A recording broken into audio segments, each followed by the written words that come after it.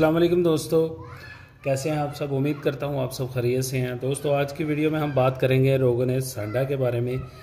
दोस्तों, आज की वीडियो में हम बताएँगे कि रोगन सांडा को आप इस्तेमाल कैसे कर सकते हैं, इसके क्या क्या फ़वाद हासिल कर सकते हैं, और ये आप कब तक इस्तेमाल कर सकते हैं।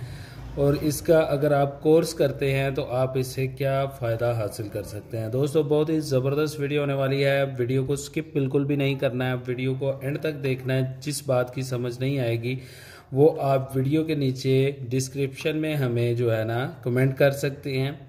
वहाँ पे हम आपको मुकम्मल और फुल गाइड करेंगे। दोस्तों, ये बहुत ही ज़बरदस्त किस्म का जो है ना, तिला है। और ये सांडे का तिला है। सांडा एक जानवर होता है, किरली नुमा ये जानवर है। और ये जंगली जानवर होता है, इसकी चर्बी जो होती है, उसका जो है ना रोगने सांडा बनता है। इसकी चर्बी से मुराद इसके गुर्दों के ऊपर जो चर्बी होती है, उसका रोगने सांडा बनता है।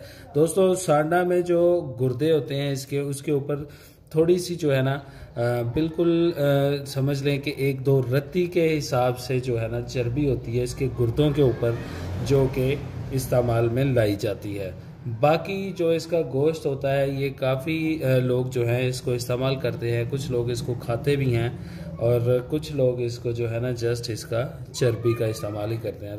दोस्तों, इसमें नर और मादी का मसला होता है। अगर नर का आप जो है ना रोगन लेते हैं तो ये आपके लिए, आपके नफ्स के लिए, मर्दाना ताकत के लिए बहुत ही अला किस्म की चीज़ है। और अगर आप इसको इसका जो है ना, मादी का जो इसका रोगन लेते हैं, रोगन सांडा, मादी का अगर लेते हैं तो उसमें जनाब आप दर्दों के लिए उसको बहुत ही ज़बरदस्त जो है ना, उसका फ़ायदा हासिल कर सकते हैं, वो दर्दों के लिए आप इस्तेमाल कर सकते हैं। दोस्तों, आपको बताता चलूँ कि ये रोगन सांडा जो है, ये आप अगर नर का इस्तेमाल करेंगे तो आपके नफ्स के रिलेटेड जितने भी मसले मसाइल हैं, आपको उनका सामना नहीं करना पड़ेगा और चंद ही दिनों में आपकी जान छूट जाएगी। दोस्तों ये जो नर का होता है, ये मर्दों के लिए बहुत ही ख़ास होता है। ये आप देख सकते हैं रोगन सांडा, तिला सांडा। दोस्तों, ये बना बनाया मिलता है, ठीक है जी। बहुत ही ज़बरदस्त इसके रिज़ल्ट्स हैं। अगर आपको चाहिए हो तो वीडियो के नीचे जो है ना हम अपना व्हाट्सअप नंबर भी छोड़ देंगे। आप वहाँ से हमारे साथ कांटेक्ट कर सकते हैं व्हाट्सअप पे। आप इसकी डिमांड बताएँ, कितने पीस आपको चाहिए और हम इन आपको टी करेंगे। तो दोस्तों, इसका तरीका इस्तेमाल मैं कुछ आपको बता देता हूँ, लेकिन उससे पहले मैं इसके कुछ फ़वाद आपके साथ शेयर करता हूँ। दोस्तों, कसरत, मुबाशरत या किसी और वजह से अजू ख़ास में नरमी आ गई हो, यानी कि बार बार सेक्स करने की वजह से या फिर हैंड प्रैक्टिस करने की वजह से जो है ना आपके नफ्स में बहुत ही ढीलापन आ गया है नफ्स में बिल्कुल भी जान नहीं है। तो उसके लिए तिला सांडा की मालिश हैरत अंगेज़ फ़ायदा पहुंचाती है। जी हाँ दोस्तों हम तो इसका रिज़ल्ट ले चुके हैं और मर्दान अजू को सख्त करती है ठीक है जी? इसके साथ मैं आपको आ, मैंने पहले एक वीडियो बनाई थी मजून आज़म नंबर वन ठीक है जी? आई बटन में मैं वो वीडियो भी आपको दे दूँगा। आप अगर इसके साथ वो मजून इस्तेमाल कर लेंगे ना तो कहते हैं ना कि सोने पे सुहागा। तो दोस्तों, सोने पे सुहागे वाली बात हो जाएगी। साथ में रोगन तिला सांडा इस्तेमाल करें।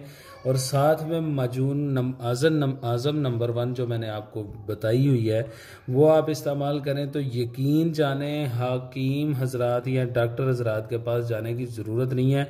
आपका मसला आपके घर में बैठे बैठे ही मुकम्मल तौर पर ठीक हो जाएगा। दोस्तों इसी तरह इसके ऊपर तरकीब लिखी गई है। तरकीब इस्तेमाल ऐसे है अच्छे किस्म के साबन से अजूए ख़ास को धोकर तोलिया से आहिस्ता आहिस्ता खुश्क कर लें। फिर हसब ज़रूरत दवा टिपका कर हाथों से अजू ख़ास के चारों तरफ़ दवा को 10 मिनट तक मालिश करें। जी हाँ दोस्तों, चार से पाँच, दस कतरे आप अपने नफ्स पर डालकर आप दो उंगलियों की मदद से इस तरह उसको जो है ना, आप अपने नफ्स में जज़ब करेंगे, नफ्स के निचली साइड पर और उसके जो है ना कैप पर आपको लगाने की ज़रूरत नहीं है। जस्ट इसके ऊपर और साइडों पे लगाएँ और अच्छी तरह से मालिश करके आप जो है ना, इसको जज़ब कर दें। फिर अंडरवेयर वगैरह या कोई चड्डी पहन लें और रात भर जो है ना, आप आराम से सो जाएँ। सुबह उठ के आप जो है ना, इसको नीम गर्म पानी के साथ अजू ख़ास को आपने धो लेना है। ठीक है जी? उसके बाद आपने सरसों का ताज़ा तेल, खालिश तेल लेना है, वो अपने नफ्स के ऊपर हल्का सा लगा कर छोड़ देना है। और दूसरे दिन रात को आपने दोबारा से रोगन तिला, जो सांडे का रोगन है, ये आपने इस्तेमाल कर लेना है। दोस्तों, ये आपने सिर्फ़ रात को सोते टाइम इस्तेमाल करना है, ना कि इसको दो टाइम इस्तेमाल करना है, सिर्फ़ रात को सोते टाइम इस्तेमाल करें। इन इंशाल्लाह, मर्दाना नफ्स के रिलेटेड जितने भी आपको मसले, मसाइल, परेशानियाँ हैं, ये मुकम्मल तौर पर ठीक हो जाएँगी। तो दोस्तों, इसी बात के साथ हकीम हाफिज़ रहमान को इजाज़त दीजिए। इन मिलते हैं एक नई वीडियो, एक नए नुस्खे के साथ। तब तक के लिए इजाज़त चाहूँगा, अल्लाह हाफि